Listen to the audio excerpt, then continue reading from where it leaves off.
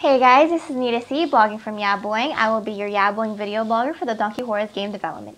This is Donkey Horrors' first video update and there might be more as the game progresses. You can find the game available on iPads and iPhones. And don't forget to follow our progress on our Facebook group. The link will be provided on the screen.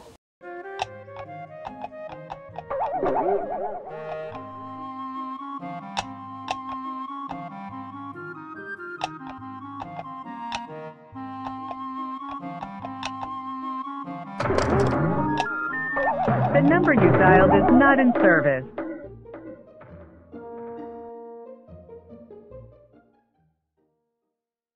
And now I will show you a little bit on how to play the game. So I already have the game programmed onto my iPad. Um, oh, I already started a little bit to try to test it out. But this is how the game is gonna look.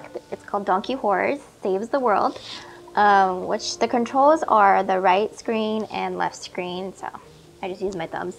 Um, kind of just, I don't know, makes a lot of silly little noises there. Um,